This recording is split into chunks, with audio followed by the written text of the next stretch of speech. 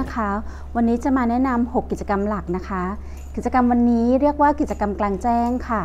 กิจกรรมกลางแจ้งนะคะ มีจุดประสงค์ก็คือว่าเพื่อให้เด็กได้เล่นแล้วก็เรียนรู้อย่างอิสระนะคะ การเล่นและเรียนรู้อย่างอิสระเนี่ยจะช่วยพัฒนานะคะ ในเรื่องของกล้ามเนื้อมัดใหญ่นะคะ แล้วก็ในการประสานสัมพันธ์มือตานะคะ ชื่อว่ากิจกรรมกลางแจ้งนะคะ ค่อนข้างที่จะบังคับว่าอยากให้พาเด็กๆเนี่ย ออกจากนอกห้องนะคะ ไปสู่พื้นที่โล่งกลางแจ้ง ที่โรงเรียนนะคะครูก็จะพาเด็กๆเนี่ยไปเดินเล่นกันนะคะ ไปเล่นกันในสนามเด็กเล่นนะคะ ไปเครื่องไปเล่นเครื่องเล่นสนาม ไปเล่นบ่อทรายนะคะ หรือครูจะมีกิจกรรมออกแบบพิเศษ วันนั้นจะมีการเล่นน้ำกัน ก็จะให้เด็กๆเนี่ยนำชุดเสื้อกันฝนมาจากบ้านนะคะ ก็แล้วแต่แต่ละโรงเรียนนะคะ ถ้าคุณพ่อคุณแม่อยากทำแบบนี้ อยากให้เด็กๆได้เรียนรู้เหมือนที่โรงเรียน อยากทำที่บ้านนะคะ เราสามารถทำได้ง่าย ๆค่ะ ก็เราแค่แปลงนะคะ นอกบ้านของเราถือว่าก็ออกนอกห้องแล้วนะคะ ก็สามารถที่จะเป็นกิจกรรมกลางแจ้งได้ทำไมต้องออกนอกห้องนะคะ เพราะการที่เด็กๆเนี่ยอยู่ในบ้านหรืออยู่ในห้องเรียนเนี่ยก็จะมีความเครียดนะคะ เพราะนั้นเนี่ยเราจึง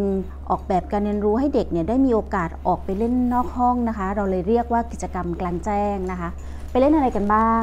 ส่วนใหญ่ก็อย่างที่แจ้งแล้วนะคะ รวมทั้งครูก็จะพาเด็กๆเล่นเกมการละเล่นใช่ไหมคะ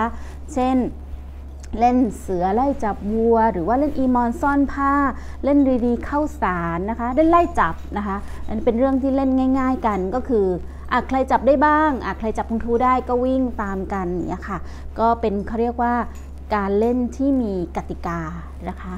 รวมทั้งเนี่ย ก็จะเป็นการเล่นที่เกี่ยวกับอุปกรณ์ เพื่อออกกำลังกาย แล้วก็เพื่อให้เด็กเองเนี่ยได้พัฒนาทางด้านร่างกายบ้าง เช่น เราจะพบว่าคุณครูจะให้เด็กๆเนี่ยเล่นโยนรับบอลกัน หรือว่ากระโดดหรือว่าวิ่งยืนเท้าเดียว ยืนขาเดียวว่าได้นานเท่าไหร่ สิ่งเหล่านี้นะคะเพื่อพัฒนาด้านของกล้ามเนื้อมัดใหญ่ แล้วก็พัฒนาการทางด้านร่างกายเด็ก ๆ นั่นเอง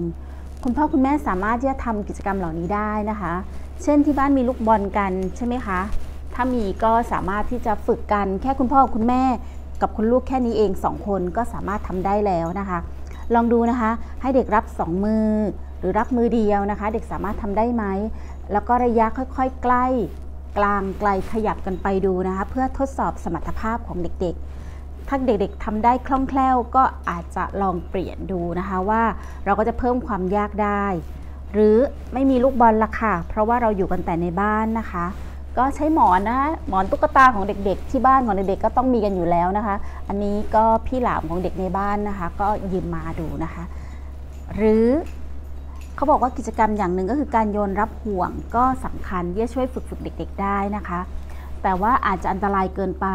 ซึ่งแน่นอนทุกบ้านช่วงนี้เราไม่ได้เดินทางคิดถึงการเดินทางไหมคะเราก็สามารถที่จะนำนี่ค่ะหมอนรองคอได้นิ่มๆนะคะ เราก็สามารถที่จะมาโยนนะคะ ให้เด็กๆเนี่ยรับส่งกันเป็นเหมือนห่วงได้ นี่ก็เรียกว่า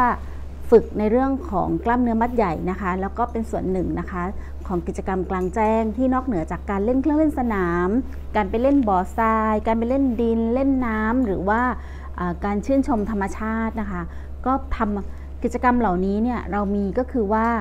ไม่ว่าเด็กๆจะทำอย่างไรก็ตามเนี่ยเราจะมีแอบซ่อนเอาไว้ก็คือว่าเด็กๆเนี่ย ได้พัฒนาในเรื่องของกล้ามเนื้อมัดใหญ่นะคะ รวมทั้งประสานสัมพันธ์มือตา ถ้าโยนรับชัดอยู่แล้วนะคะว่ามือกับตาก็ต้องทำงานสมองก็ต้องคิด 3 อย่าง รวมทั้งถ้าเกิดเด็กยืนขาอีก อวัยวะทุกส่วนสัมพันธ์กันหมดเลยเพราะเราก็จะได้รู้ว่าลูกของเราเนี่ยเอ๊ะเอ๊ะทำไมดูแบบขาแข็งจังเลย พัฒนาการตรงนี้ของลูกเนี่ยเราสามารถตรวจสอบได้ง่าย ๆนะคะ ผ่านกิจกรรมกลางแจ้ง ทั้งพ่อคุณแม่นึกไม่ออกเอ๊ะแล้วจะทำอะไรกันบ้างกับเด็กๆนะคะครูอ้อมก็มีหนังสือมาแนะนำนะคะ อย่างที่บอกค่ะ เป็นชื่อชุด6กิจกรรมนะคะ ในเล่มนี้จะมีกิจกรรมนะคะ นี่คือตัวอย่างนะคะ เดี๋ยวครูอ้อมจะให้ดูตัวอย่างอีกหลาย ๆ ตัวอย่างนะคะ ที่จะขึ้นนะคะ เช่นมีการรับลูกบอลนะคะ การยืนทรงตัวนะคะ หรือว่าการที่จะให้เด็กๆเนี่ยฝึกนะคะในเรื่องของทำของเล่น เช่นทำว่าวแล้วก็ไปวิ่งเล่นกันเพื่อออกกำลังกายอย่างนี้ค่ะ นี่ก็อยู่ในเรื่องของกิจกรรมกลางแจ้งนะคะ หวังว่าคุณพ่อคุณแม่เนี่ยจะพาเด็กๆนะคะ ออกไปผ่อนคลายนอกบ้านนะคะ แล้วก็ฝากกิจกรรมหลักนะคะ ไว้กับคุณพ่อคุณแม่ด้วยนะคะ สามารถที่จะสั่งซื้อได้นะคะ ในช่องทางข้างล่างนี้นะคะ